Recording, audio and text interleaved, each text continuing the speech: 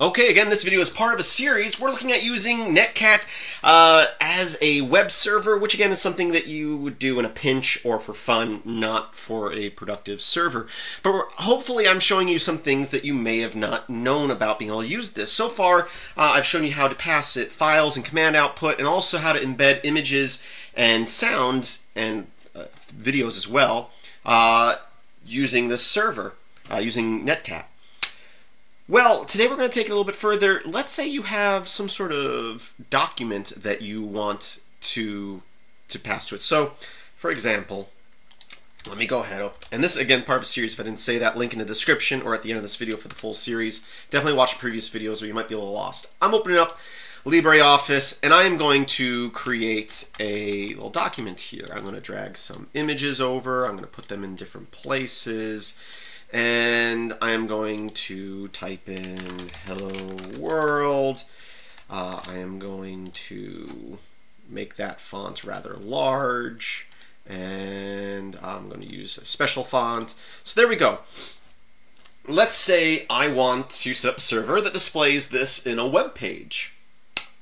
Can we do that? Well, using the techniques we've used previously, it would take a lot of work. You'd have to, uh, you know, write up the HTML code, embed each image, blah, blah, blah. Well, luckily, uh, if you're working in LibreOffice here, you can go File, Export. Uh, we can go to the file our server is in, and we're going to call it index.html and uh, make sure that we have HTML selected here. And we're going to click Save. And what that just did, if we open up that file here, is it creating an HTML file uh, with all the images embedded. Uh, and also, let's go ahead and just go ahead and uh, we're going to cat that out to our, our BusyBox. So go back to our web browser here. So again, we're saying here this is a web server and that you connected successfully. And then we're going to pass it that file. And if we come down here and refresh, it did not work. Hmm. Let's try that again. I'm so silly. It did work. we just didn't look at the whole page. It's down here. So if we were to look at the, the, the file here, uh, vim index, you can see that it passes it the doc type, and it has all this information embedded in here. Uh, you can see the base 64, so it embedded all that we needed. But let's look at our original document. Hello world up here, images down here, and our website doesn't look like that. Why is that? Well, the problem here is HTML. Uh, where it's giving all the information, but it's just not displaying it right. And if you had a very basic document, that might work. And um, but depending on how big I make my web browser, it might display different. So it kind of works, right? Well, let's make it so it looks exactly the same every single time in all web browsers. How's that, okay? So you might think, what document format can do that? And you might be right if you said something like PDF. Well, you're mostly right. You're right up until the fact that it won't work in this case, but we will make it work. So I'm going to take the same Office document. I'm going to say create a PDF. I'm going to go to that folder. I'm going to call it index2.pdf. Save that. And if I go here and here, and let me just open up that PDF file, IXDG open our index2 PDF. This is what the PDF looks like. But can we serve that up? And you might think that we'd be able to do something like this. Same thing as before, but we're going to say cat index 2 and we'll refresh down here. Oh, it tries. It sees that it's a PDF file, but it doesn't load. I don't know why. And there might be a way to get that to load properly. But let's convert that PDF to HTML. You might say, but Kris, we just tried creating an HTML file from that document and it did not work. And you'd be right. But we're going to convert it using a different tool. So, there is a program that you can get, should be in a repository, it's called PDF to HTML EX, capital EX there. Uh, and what that's going to do is it's going to generate an HTML file using, I'm going to say this wrong, it's latex, latex, whatever, which is a, a format for making documents, to put it simply. Do not confuse this program. Do not confuse it with 2HTML. That will give you a horribly formatted. That that's okay, maybe in some cases if you just want to grab some text out of an HTML file. Uh, but no, that that's that's no good. It's PDF two, the number two, HTML EX. And we're going to give it the index2 file, and by default, if you don't give it an output, it's going to create an HTML file called index2.html. Whatever, wherever this PDF was called, same thing, but with HTML. Now, if we were to run our same command as before, but instead of passing BusyBox the PDF file, we pass it the HTML file. We'll hit enter. It'll come down here, we'll refresh this, and lo and behold, it looks just like our original document. It will format it perfectly.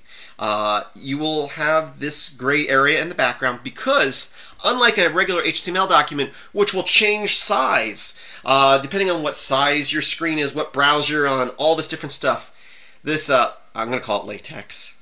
I don't know if that's how you say it. Uh, it's L A T E X. Latex, latex, latex.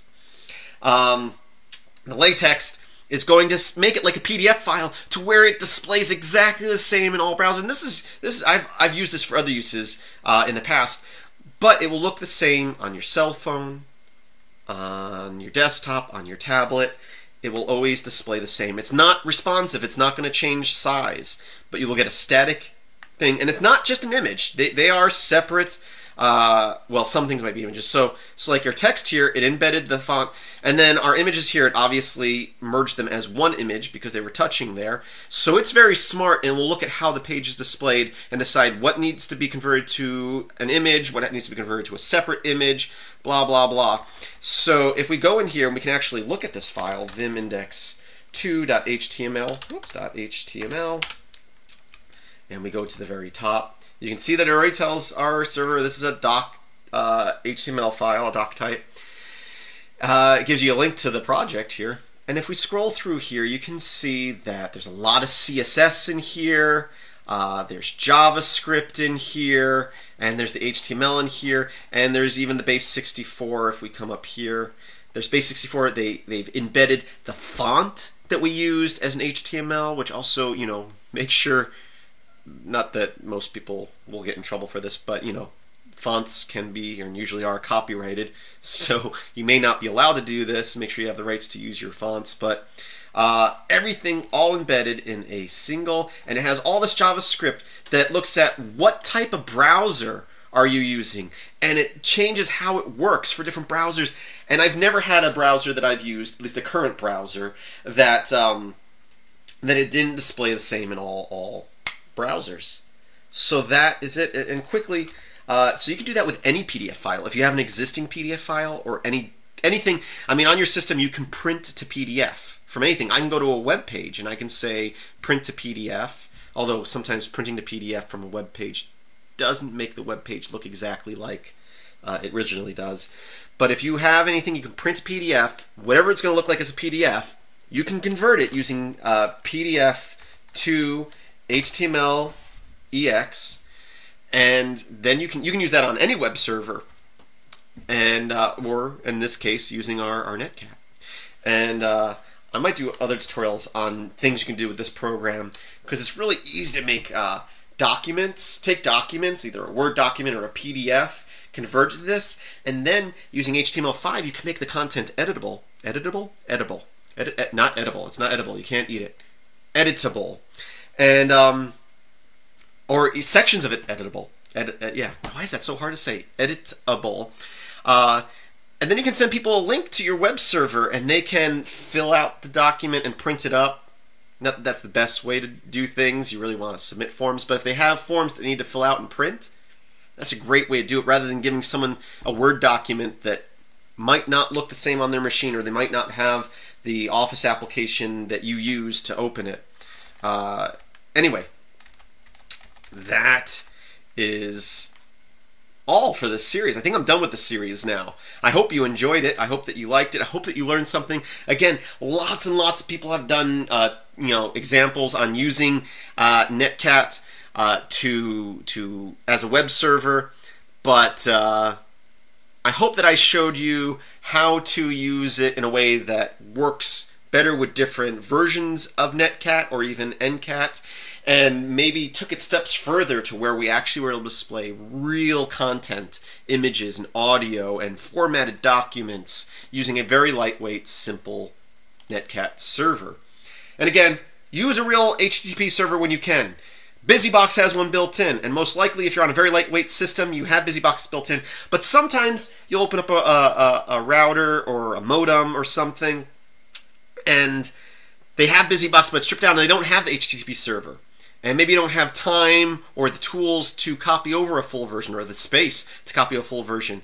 Maybe though, maybe I'm assuming if they remove the HTTP uh, server that uh, that they prior removed Netcat. But if it's there, you can use it in a pinch. I do thank you for watching. Please visit filmsbykris.com. That's Kris with the K. There's a link in the description. As always, I hope that you have a great day. Be sure to visit my Patreon page, patreon.com forward slash MetalX1000. A link to that in the description as well. I really, I really, really do appreciate the support, and I hope that you have a great day.